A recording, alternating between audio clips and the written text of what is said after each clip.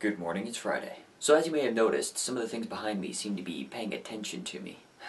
No, I'm not talking about you. Well, I mean, yeah, you too, technically, but everybody already knows about you. No, come on, Extreme, I didn't mean it that way.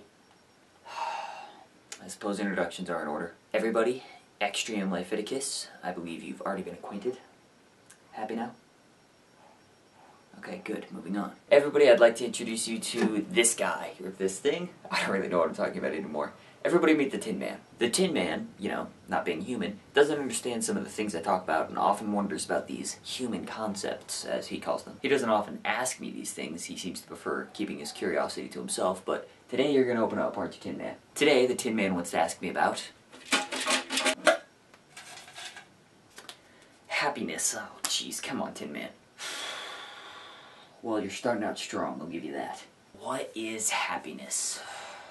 It's, well, sort of. From a purely philosophical standpoint, no, you know what, I'm just gonna be honest. I don't know how to answer this question, so just give me a minute. Alright, so after about 30 TED Talks, 4 Harvard articles, and one playthrough of Pharrell Williams' Happy, I can honestly say I am no better equipped to answer this question than I was before. But, but you asked, so I will try. Happiness.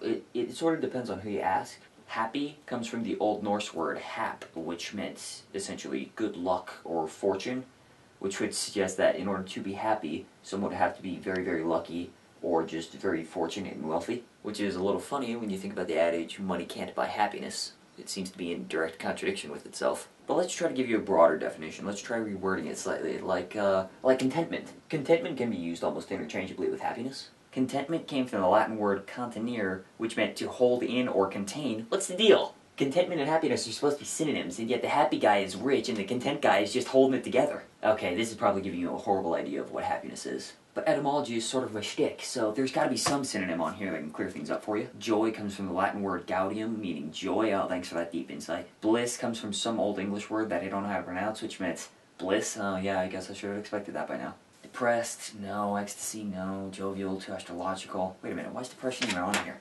Come on, come on, come on, come on. Elated, okay, here's a good one. Elated comes from the Latin word elatus, that sounds like a joke, which meant to raise up or carry. So I guess being elated is similar to being on cloud nine? So does any of this help you?